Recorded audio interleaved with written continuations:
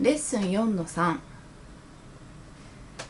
ネイルサロンのホームページの作成と、えっと、集客ということで、えっと、ホームページは集客の中で、えっと、一番お客様にとって安心できるツールになってきます。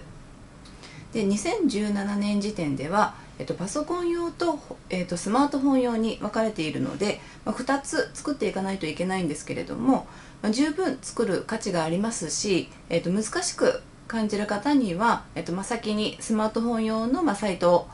作ってやってもいいと思います。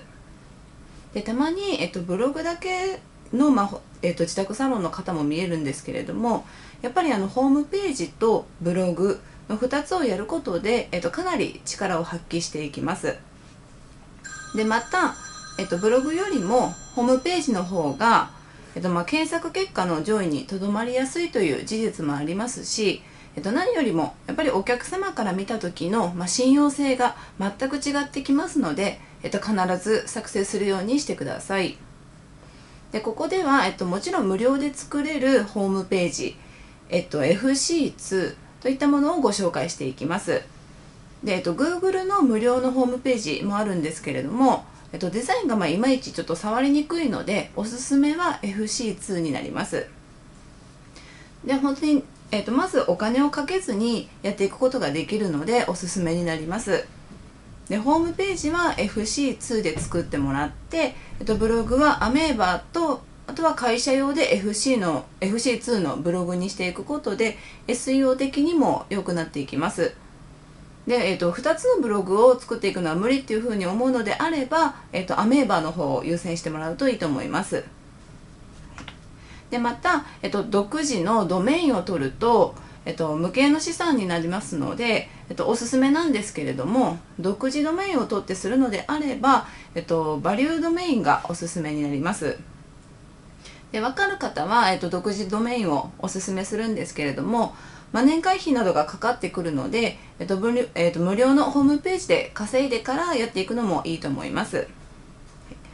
でここで、えっとまあ、フリードメインを作っていくんですけれども、えっと、HTTP に続くところの部分を自分で作ることができるので、えっとまあ、自分の狙いたい、えっと、市や、まあ、区ですね何々市ですねとプラスネイルサロンっていった風につけるといいと思います。でで今回ここのページでは、えっとまあ、特に重要と、まあ、大切っていうふうに思う部分だけをお話ししていきますので、と、まあ実際のまあホームページを作る部分に関しては FC2 のまあサイトでまあホームページ作成の手順を見ながら作っていってもらうといいと思います。はい、ではタイトルなんですけれども、えっと、タイトルは、えっと、ブログと同じ考えなんですけれども、まあ、ここでブログと全く同じタイトルにしてしまうと、まあ、後々ちょっと問題が出てきてしまうので、えっと、ブログで何々市ネイルサロンというふうにした方は、まあ、ホームページではネイルサロン何々市というような形で、えっと、市を抜いて〇〇のあとはとかごめんなさい、えっと、市を抜いてもらう何々のネイルサロンといったような感じで、まあ、順番か言葉を変えるようにしてください。で、えっと、三大都市の方は、えっとまあ、自分の住んでいる区で勝負した方がいいので、えっと、何々区ネイルサロン何々とか、えっと、ネイルサロン何々区何々といったような感じにしてもらうといいと思います。で、例で言うと、えっと、ホームページは、えっと、当店の場合であれば、えっと、岐阜市ネイルサロン7、低料金高技術のお店、そしてブログは、ネイルサロン岐阜市、ね、岐阜市7、で、えっと、楽しいと評判のお店というような感じになります。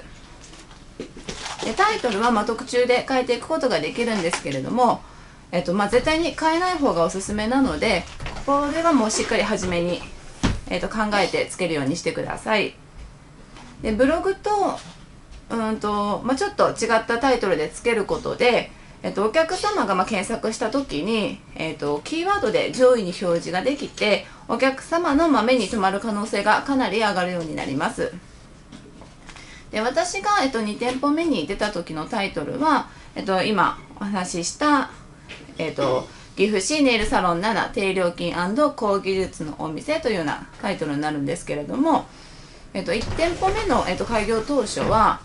ホームページでは、えーと、大垣市のネイルサロン7安くて思いっきり楽しめるお店。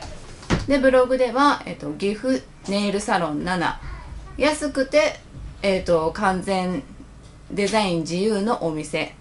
というような感じで、えー、と大垣っていったふうに調べる方と岐阜で調べる方の、まあ、両方を狙っていたんですけれども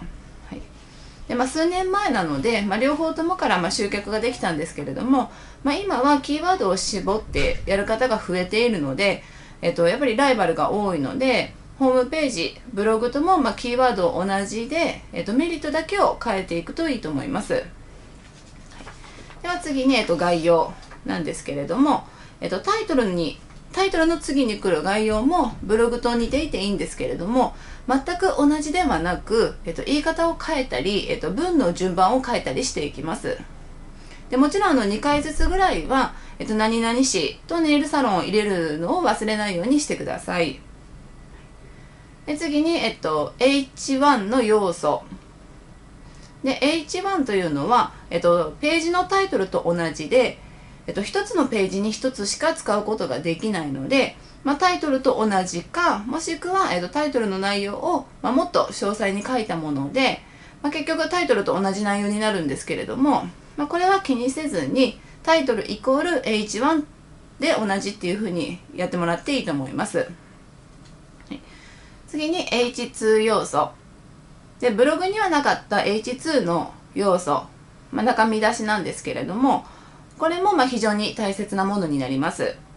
で、ここには、えっと、ネイルサロンか、まあ、何々市を入れるようにするんですけれども、まあ、同時に入れるのは NG になりますので、はい。えっと、例えば、7、ネイル料金、あとは、えっと、ネイルサロン7への行き方、あとは、えっと、岐阜支店にお問い合わせ、というような感じで、バラバラに、えっと、中身出しに入れるようにしてください。でまた、えっと、先ほど作った、まあ、アメーバーブログもリンクさせますので、えっと、トップページにリンクを貼るようにしてください。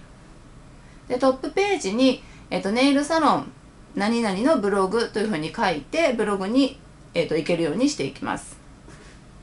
で FC2 には本当にさまざまな、まあ、細かい説明がありますのであとは本当に非常に簡単に作れるようになっているので誰にでも簡単に作っていくことができるのでおすすめです。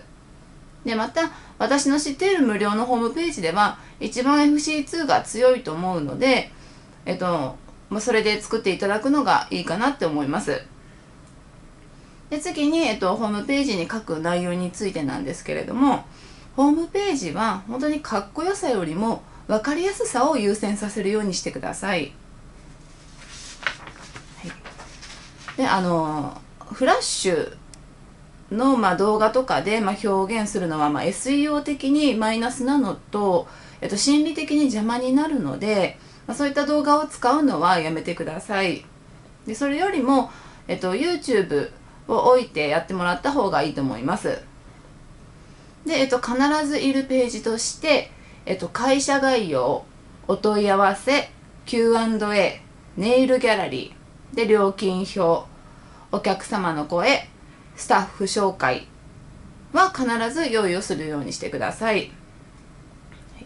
で、えっと、当店のホームページを参考にしていただいて、えっと、今言った6つの項目ですね。がないとお客様から見て、まあ、信用ができない状態と、えっと、検索エンジンに信用されない傾向があるようなので、えっと、そのようにしてください。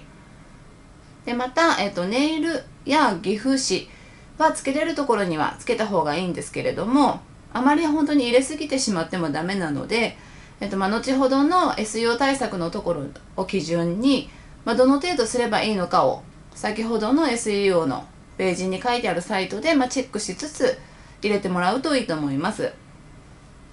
でそしてあとは各ページ、えっと、自分の思いなどを含めて600文字以上は書くようにしてください。でまあ基本デザインやかっこよさは本当にあの 基本的にはあの SEO には関係ないんですけれども本当にあまりにも見にくいと、まあ、内容を読んでもらうことができずに本当にすぐ違うホームページに行ってしまいますので本当に読みやすくてそしてまあ読みたくなる内容ですね。メリットを書くようにしてください。でお客様の目線。で今ネイルサロンに行きたいと思っている、まあ、お客様の立場になってもらって共感できる内容だったりとかお客様にとってのメリットを上の方に持ってくるといいと思います。でまれにあの大手の真似をする方がいるんですけれども本当にあの大手はあの資本があるのでやっぱりあのホームページでブランドイメージを売っているんですね。ですのでお客様を呼ぶためのホームページではなくお客様に、えっと、ブランドイメージを埋め込む戦略なので、えっと、そういったホームページを真似しないようにはしてください。でホームページとかブログにあなたのまあ個人の人柄共感できるまあ考えを入れ込むことが何よりも大切になります。本当にあの当店の場合だとホームページを見て、えっと、いきなりファンになって来てくださるお客様が何人か見えますので、えっと、そういったことを大切にしてもらうといいと思います。そしてまた、えっと、チラシやブログとは違って、えっと、自分の思いやま考えをま詳しくたくさん書けるまあ唯一の媒体がホームページになりますので、えっと、まず目のつくところに、えっと、お客様のメリットか共感できる内容を入れ込むことが本当にファンを作って内容を読んでもらえる秘訣だと思います。で FC2 では、えっと、簡単にページも増やすことができますのでたくさんページを作るようにしてください。本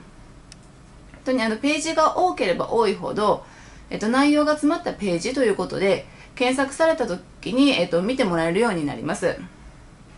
でただ、えっと、無駄にページが多いのではなくってあの300文字以上の、まあ、ページがあった方がいいので、えっとまあ、そういったページを、えっと、5ページから10ページぐらい作るようにしてください。でギャラリーなどの、まあ、ページは文字が少なくなりがちなんですけれども、えっと、文を使え、えっと、付け加えつつ作っていく工夫をしていきます。で今から、えっと、ホームページを作り始める方はやっぱりあの画像が少なくて困る方も多いと思いますので、えっと、気がついたら写真を撮るようにしてもらって、まあ、自分のサロンや自分自身の本当に歩みを、まあ、データに蓄えていってください。で私の自宅サロンの時は、えっと、本当にゼロだったので本当に写真にかなり困ったんですけれども 少しずつお客様をま成立していく上で少しずつ少しずつ本当に貯めていったというような感じになります。では早速あの無料で作れるホームページ、えっと、FC2 で、えっと、作ってもらいたいと思うんですけれども本当にあのまずはわからないままでも大丈夫なので、えっと、まず本当に自分でわからないなりに作ってみるということが大切になるのでまずは作ってみてください。本当に私もあの初めは全くわからなかったんですけれどもえっと、わからない時は調べてというような感じで本当になんとかなっていきますのでまずは作るようにしてください。